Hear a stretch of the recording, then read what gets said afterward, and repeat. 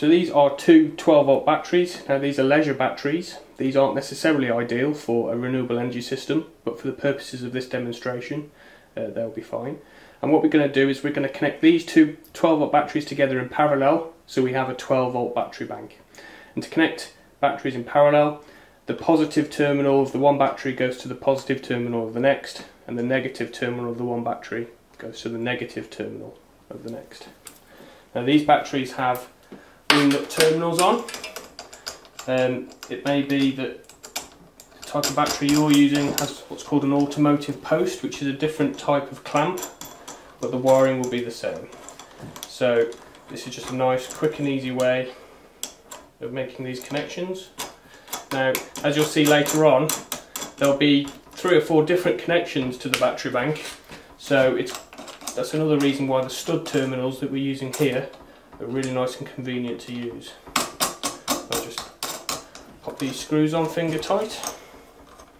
So we've got negative to negative and positive to positive. When you're working with batteries you need to make sure you're incredibly careful not to short out the batteries so you don't want to put the cable between those two terminals or those two terminals because there'll be a big spark. Okay, that's that done.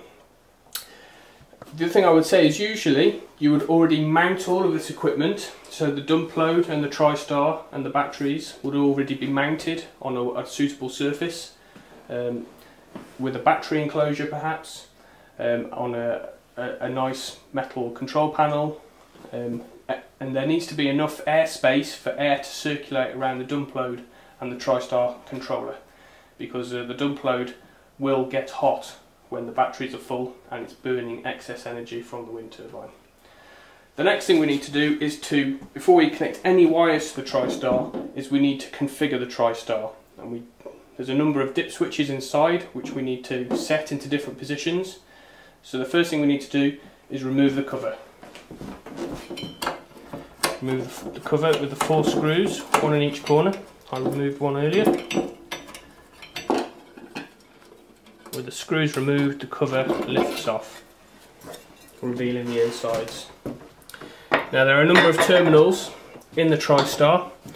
Um, we've got a connection to the battery, and then the other side is the negative connection to the battery, and then the yellow terminal is one of the connections to the dump load, and then the terminal marked common is the second connection to the dump load.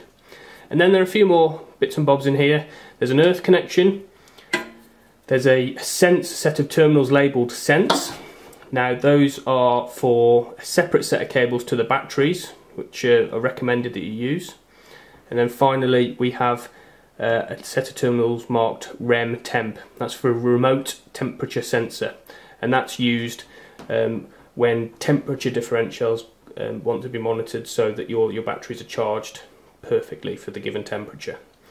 Then we have the bank of dip switches, this red block here. So the first thing we need to do is to set the dip switches on our TriStar.